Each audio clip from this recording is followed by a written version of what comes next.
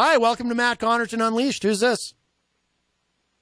Hello, Matt Connarton. My name is Singing Dan, and I called into your show to sing. At least that is the plan.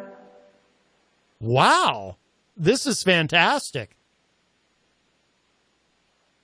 I really love John Hopwood. If he was there, I would kiss him on his head. I wish he was in the studio, but I guess I'll talk to you instead. Well, this is wonderful. I've never been serenaded in this way. My name is Singer. Oh no. What happened?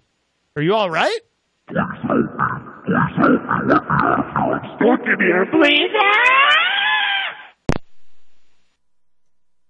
Oh my goodness, my friends.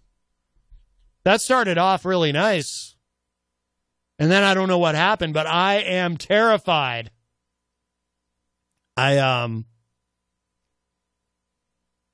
I mean I I apologize in advance to Peter White who also has to sit in this chair in the morning, but I think I might have peed myself.